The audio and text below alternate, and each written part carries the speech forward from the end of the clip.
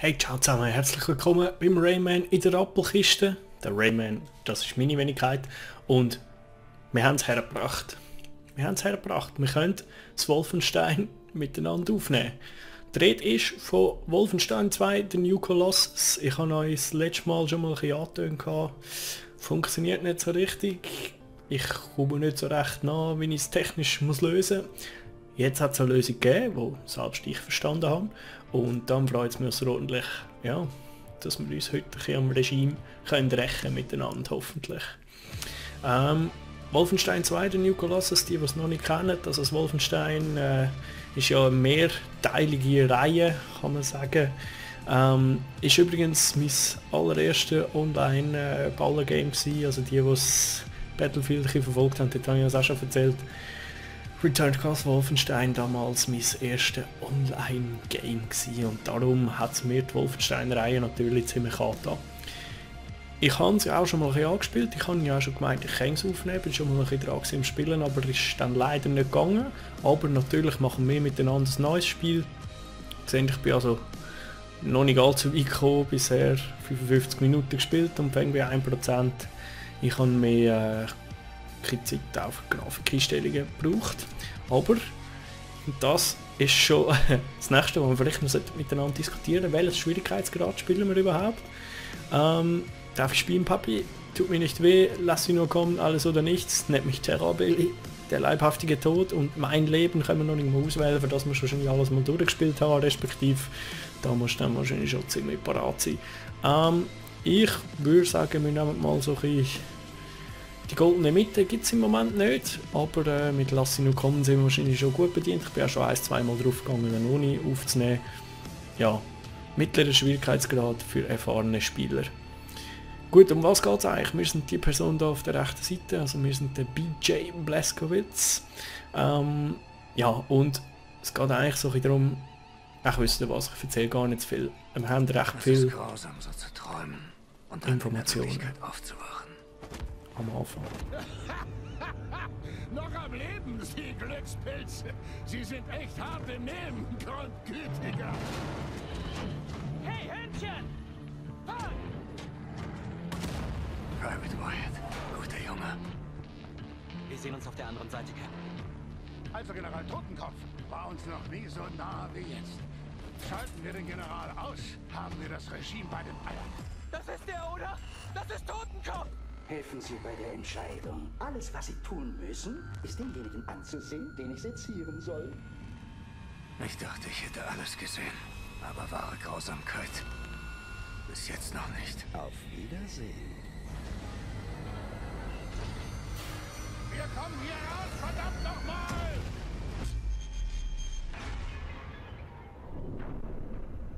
Wenn das so ist, muss er in die Nervenklinik. Und ich sehe jemanden. Sie heißt Anja. Kümmert sich gut um mich. 1960. Die USA kapitulierten vor zwölf Jahren, nachdem das Regime Atombomben eingesetzt hat. In einem Zug nach Berlin. Ich bin Oberstleutnant Engel. Sehr schöne und vollkommene Züge. Die Widerstandskämpfer, wo sind sie? BJ Blaskowitz. Carolina, Sie leben. Wenn man ihn Sackscheißen Leben nennen kann. Sie glauben, der Krieg ist vorbei, dass wir schwach sind, geschlagen, nicht den Mut haben, gegen sie zu kämpfen. Und wie immer irren sie sich. Seth Roth, laut offiziellem Register wurde er festgenommen und in das Lager Hello gebracht. Sie sind Seth Roth? Ich bin mir nicht sicher. Was wissen Sie über Seth Roth? Sie sind ein Dirty Shoot. Die Quelle der Regime-Technologie. Ich werde Sie retten. Ich hoffe, du findest, wonach du suchst, mein Freund. Mein Name ist Bombate. William J. Blaskowitz. Pass auf da draußen. Niemand verlässt mein Lager.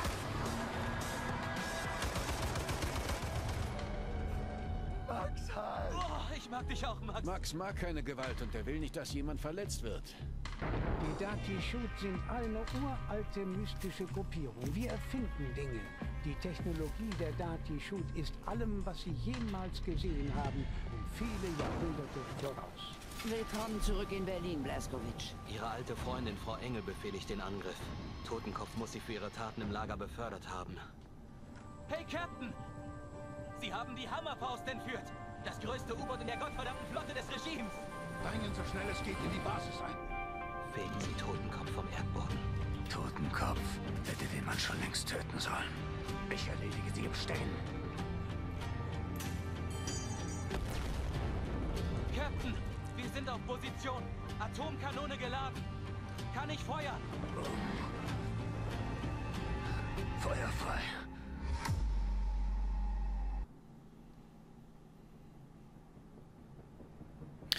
Das mal hauptsächlich Informationen zum Vorgänger, der New Order. Aber natürlich! Haben sie es nicht geopfert. William! Blaskovic! Findet ihn! Blaskovic! Dein Vater kommt heute nicht heim. Er musste nach Dallas. Oh, mein Junge. Er hat dir so viel getan. Ruh dich aus. Werde gesund. Es gibt Suppe und Haferbrei. Was möchtest du? Nur zu, Captain. Treffen Sie eine Wahl für mich. Und auch mit dieser Szene werden wir kurz wieder im Vorgänger gerührt. Ähm, dort sind wir vom. Totenkopf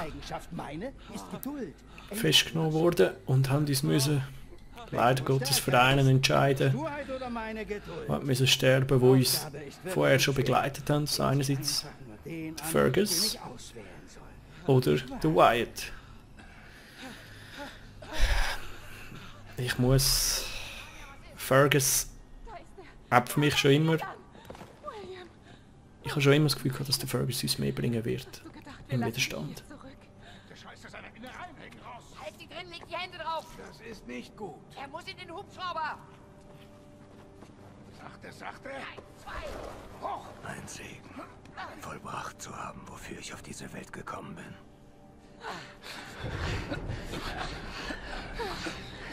Geben von Freunden den Kollegen. Was keine Ahnung, wie es ist, so zu leiden wie ich. Ja, Madame. Er verblutet. Schneller. Und eine große Hitze überkommt mich. Handtuch. Ich glaube, der Himmel Das brennt. stimmt nicht. Caroline, er stirbt. Er läuft blau an. Wieder klopft der Sensenmann an. Ruft nach mir. Tritt ein, alter Freund. Tut mir leid, die Warterei. Gesegnet seist du unser Gott, der du bist im Himmel. Ich will dir was zeigen, Billy. Mein Vater sagte, wenn ich einen Sohn hätte,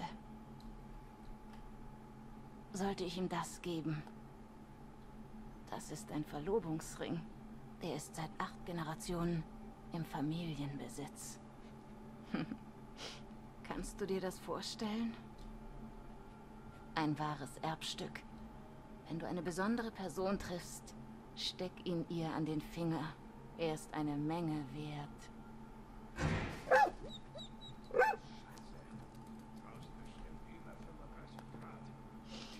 Deinem Vater nichts von dem Ring. Er nimmt ihn sonst weg. Er weiß nichts davon. Du weißt, wie er ist. Mama. Bin ich freigesprochen? War ich artig und brav? Darf ich die Schönheit des Himmels spüren? Was keine Ahnung, wie es ist, so zu leiden wie ich. Oh nein. Mama. Ich komme in die Hölle. Ziehen, ziehen Sie, Bombate. Ah, Ich muss ihm die Eingeweide rausschneiden. Retten Sie ihn, Seth, bitte! Bleiben Sie bei uns, Blaskovic. Kämpfen Sie. Dann verspreche ich Ihnen, ich verspreche Ihnen, dass alles gut wird. Kinder, Kinder, wir brauchen einen Blutspender. Schnell! Gut zuhören. Sie, Sie und Sie auch. Bringen Sie die Leute zur Krankenstation für Heilung. Verdammt nochmal. Ja! Ja! Licht! Bleib da, still jetzt. Er kommt. Sophia, ist er da drin? Nein. Sophia, geh mir aus dem Weg! Er hat das nicht verdient und das weißt du. Red kein Scheiß, ich habe ihn mit ihr gesehen. Er ist jung. Er mag sie. Er weiß es doch nicht besser. Er weiß genau, dass er sich nicht mit dieser kleinen Negerin abzugeben hat. Du tust meinem Sohn nicht weh. Nicht mehr. Du hast keine Ahnung, es ist, so zu leiden wie ich. Oh, Sophia, jeden Tag reiße ich mir bis zum Abwinken den Arsch auf und werde nach Strich und Schaden beschissen. Erniedrige mich, damit es weitergeht. Ich habe die beiden zusammen gesehen, Sophia. Haben unter der Pappel miteinander rumgemacht. Ich verbiete es! Ich habe zu hart gearbeitet, um meinen Ruf zu verlieren, nur weil mein Sohn mit einer Negerin anbändelt. Wir können so nicht weitermachen.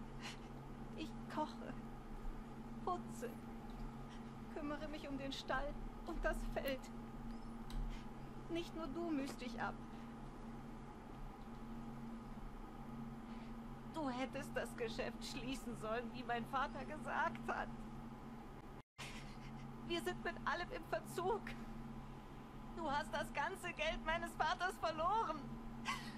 Du spielst mit dem Feuer, Sophia. Was soll das?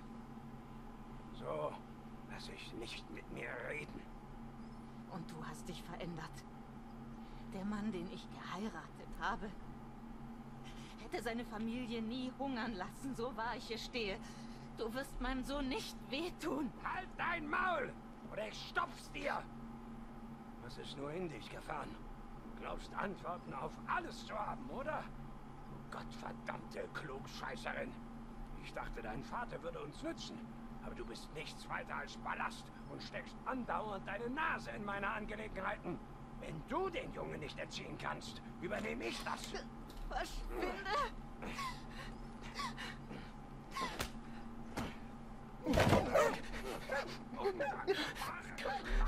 Versteckst dich im Schrank. Dein Anblick macht mich krank. Müssen uns so gut es geht wehren, aber leider wird er doch stärker sein. Du bist so verdammt schwach. Die hacken auf dir rum. Die zerbrechen. Lassen dich Dreck fressen. Und was tust du dagegen? Hm? Du kannst dein Leben nicht retten. Aber ich zeig dir, wie man es nehmen kann. Atmen, Blaskowitsch. Kommen Sie wieder zu Kräften. Es bewegt sich etwas. Das Blatt beginnt sich zu wenden. Der Wiesenaukreis wird stärker. Ich brauche Sie an meiner Seite. Wenn wir zuschlagen.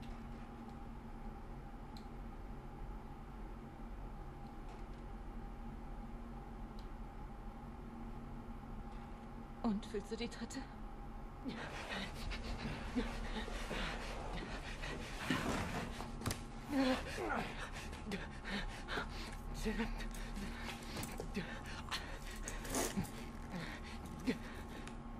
Bessie! Happy, happy! Ja, braves Mädchen.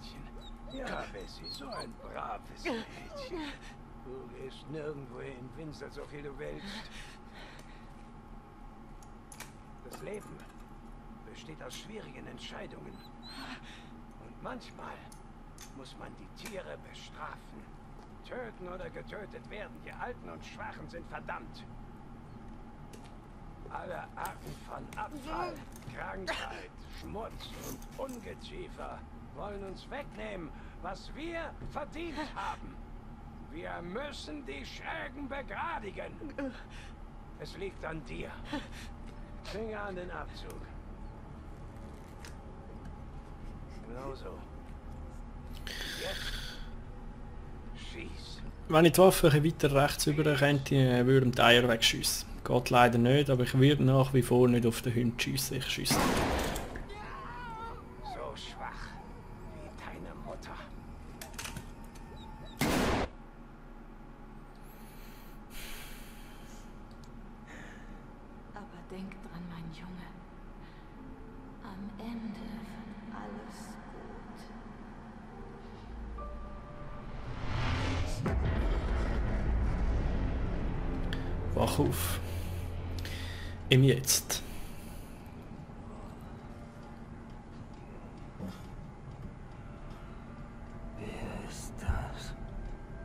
Ich?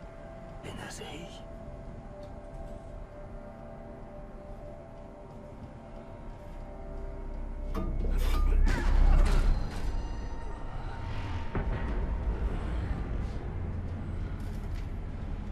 Die Alten und Schwachen sind verdammt.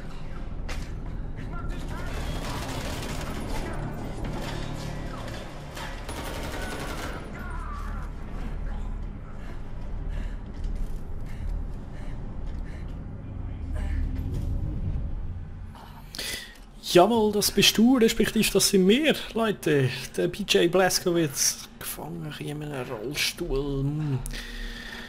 Und trotzdem werfen wir alles am Regime entgegen. Also wir sind vielleicht nochmal schnell eine Zusammenfassung für die, die eventuell die ersten paar äh, Teile von Wolfenstein nicht so kennen. Wir sind der BJ Blazkowicz und ihr habt gehört, das Regime, also das Germania-Regime hat äh, Amerika können Knie zwingen mit einem atomaren Angriff. Und dank eigentlich auch uns gibt es immerhin noch Widerstandskämpfer. Und die werden äh, angeführt von der Caroline und ja, zu einem Teil auch uns, also wir sind so wie so ein bisschen die rechte Hand geworden. Und jetzt hat sie es aber doch da recht mitgenommen beim letzten von uns fast denkt vernichtenden Schlag. Und ähm, ja, jetzt sind wir da. Was wir auch noch gesehen haben, warum dass der Blazkowicz so geworden ist, ja, wie er ist. Kindheit gibt es wahrscheinlich Schöneres. Ähm, der Hund über den Haufen schiessen bringt einfach nicht übers Herzen. Wenn jetzt so böse Schäferhunde sind oder so elektrische, wenn da die, das Regime noch äh, herzaubern wird, vermutlich, dann geht schon wieder. Aber unser eigener Hund, das ist einfach, der, ja man kann es nicht sagen, der Vater ist Vater war auch ein Sauhund. So, ja. Wenn ich es hätte können, hätte ich ihm die Eier weggeschossen, aber es ist leider, leider hat es nicht geklappt. Auf der anderen Seite aber auch die Liebe, die er von der Mutter bekommen hat, respektive jetzt da von den Widerstandskämpfern, ich denke, das macht ihn so zu dem, wo er ist. Und jetzt will ich gar nicht mehr gross weiterreden, weil jetzt müssen wir da unserem nächsten Kollegen helfen. Noch schnell schauen, ob da noch irgendetwas rum ist. Eben die erste, die erste Runde da in, in dem U-Boot, das wir übrigens auch entführt haben, der Hammerfaust, die habe ich auch schon gespielt. Ähm, dann kann ich vielleicht auch ab und zu antizipieren, wo das Gegner her könnte, aber das hilft ja am Widerstand. Let's go! Oh, Sie sind's. Nehmen Sie das. Die suchen nach Ihnen. Oh, Scheiße. Da kommen Sie.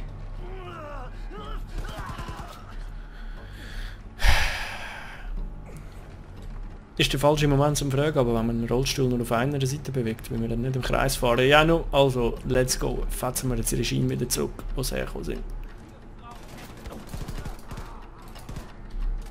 Das U-Boot gehört jetzt uns. Ihr kriegt's nicht zurück, Wichser. Ja, das U-Boot ist definitiv uns. Das haben wir uns gerallt im vorherigen Teil. Habe ich allerdings noch nicht aufgenommen. Da bin ich ja gar nicht am Aufnehmen. Ähm, und jetzt müssen wir das U-Boot erneut verteidigen. Vielleicht noch eine kleine Übersicht. Unten in der Mitte sehen wir auf der linken Seite... Oh, gerade noch Konzeptart. Aha, haben wir gerade noch gefunden. Das ist also sein, sein Schlafzimmer gewesen, wo es mal ursprünglich angedenkt war. Schon krass, was die für eine Fantasie haben. Ähm, unten in der Mitte, auf der linken Seite, sehen wir unsere Lebenseinheit. Also wir haben äh, 50 Health Points, Lebenspunkte. Und auf der rechten Seite haben wir die Rüstung. Wir haben also 20 Rüstungen im Moment. Ich glaube, wir haben schon irgendwo einen Helm aufgenommen. Von so einem Regime-Schergen. Anders wüsste ich jetzt nicht gerade, was bei ihm sonst noch so alles äh, geschützt ist im Moment. Und ja, dann Immun müssen wir immer mitnehmen, das Leben sowieso. Und jetzt, im Moment, in der körperlichen Verfassung, sind wir ja noch nicht für 100 Health Point. Weil ihr wir sind im Rollstuhl, wir sind, glaube fünf Monate sind wir alt gewesen. Also da ähm, kommen wir natürlich noch nicht jeweils wieder auf 100 Tour-Level und alles ist gut.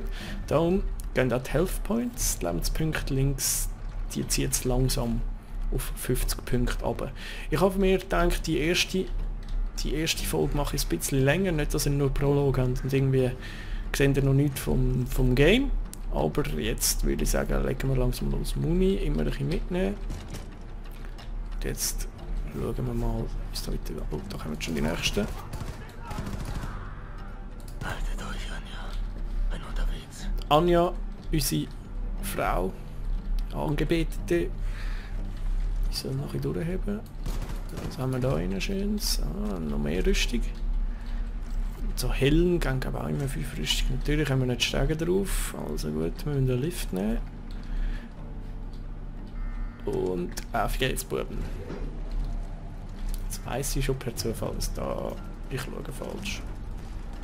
Ich hätte auf diese Seite müssen schauen. Ja, no. Also gut. Ähm, dann schauen wir mal, wie es da weitergeht.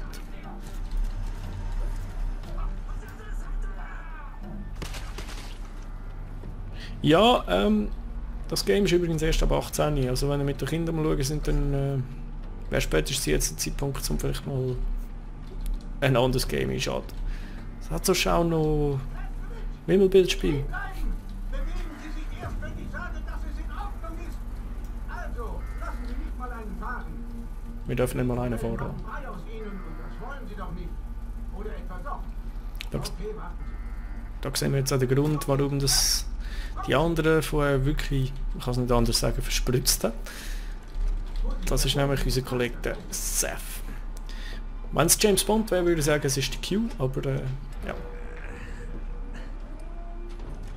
Schnell, schnell, schnell, schnell, schnell, schnell. Ah, na also. Ah. Eins, zwei, drei. Mach's gut, du Stück Dreck. Nun, Herr Blaskowitz, schön, dass Sie wach sind. Weniger Anja, schön, dass Sie herumlaufen. Zuletzt hat sie, hat sie mit Caroline den Turmplattformaufzug bewacht. Zeigen Sie mir den Weg dahin. Junge, wissen Sie, wissen Sie, wie lange Sie im Bett waren? Fünf Monate. Ihr Körper ist im Eimer. Verstehen Sie? Kann man so sagen, ja. Ihre Nieren sind hin. Sie, Sie, Sie, Sie haben vielleicht Probleme beim Wasserlassen und bei so manch anderen Keine Dingen. Zeit dafür. Sagen Sie mir. Frau Engel, sie ist hinter Ihnen her. Sie hat alles in Bewegung gesetzt und heute hat sie sie gefunden. Sie haben das U-Boot geentert. Viele sind verletzt oder tot. Ich wurde von den anderen getrennt. Ich muss gehen. Nein. Nein, hören Sie auf. Ich habe Nein gesagt. Sir, zeigen Sie mir den Weg zum Turmplattformaufzug. Sie sind ein solcher Ochse. Ein sturer Ochse. Da hat er recht. Na gut.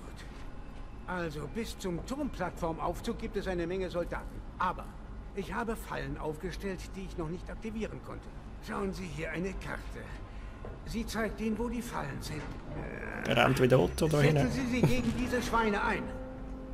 Okay, okay, vorsichtig. Ah. Ah. Lassen Sie sich nicht umbringen, wenn es geht. Los geht's. Frau, Lönnt, Sie denken, Sie sind der Jäger. Sie sind die Gejagte. Ich bin der Jäger. lönnt euch nicht umbringen, wenn es geht. Danke vielmals für den Tipp. Ähm, wir sind also wirklich ein harter Kämpfer, das sehen wir sogar im Rollstuhl, fürchten wir noch das Regime, ähm, lernen wir das Regime noch das Fürchten lehren. Ich kriege den Satz nicht her, ist ja gleich. Aber da wäre eigentlich auch die erste Folge schon wieder um. Ich hoffe, es hat euch Spaß gemacht. Es kommen noch doch noch einige üblere Szenen, also wenn ihr wirklich mit jemandem schaut, der noch nicht 18 ist und denkt, ja, passt schon, dann lernt das gescheiter. Ähm, ja, bis dahin wären wir schon mal gekommen, ohne das erste Mal zu sterben, das ist schon mal gut, ist auch noch nicht allzu viel abgegangen, das gebe ich zu. Ähm, aber es wäre cool, wenn ihr in der nächsten Folge dabei wärt, von dem her danke vielmals fürs Zuschauen, bis zum nächsten Mal, bleibt sauber, macht keinen Scheiß und ciao zusammen.